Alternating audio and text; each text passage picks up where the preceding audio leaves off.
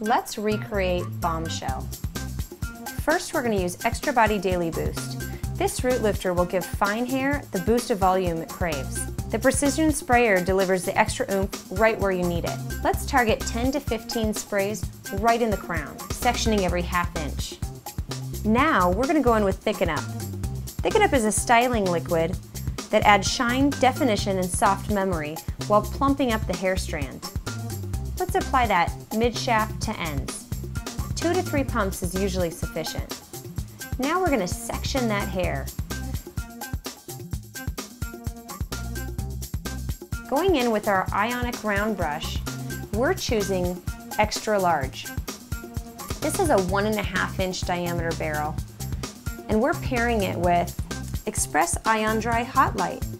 This high heat, low weight dryer leaves hair hydrated and noticeably shiny. We're going to use the styling nozzle and direct the airflow down the cuticle, elevating the hair straight up.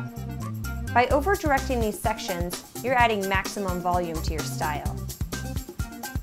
When you're ready to set, we're going to roll that brush down and let it cool before releasing. To add voluptuous curls and a little more wave, we're going to use the Express Ion Curl Extra Large. This is a one and a half inch barrel with a spring-loaded clip. You made it! Now let's set that style. Extra Body Finishing Spray is going to keep the volume and hold the curl. You're unstoppable. You're bombshell.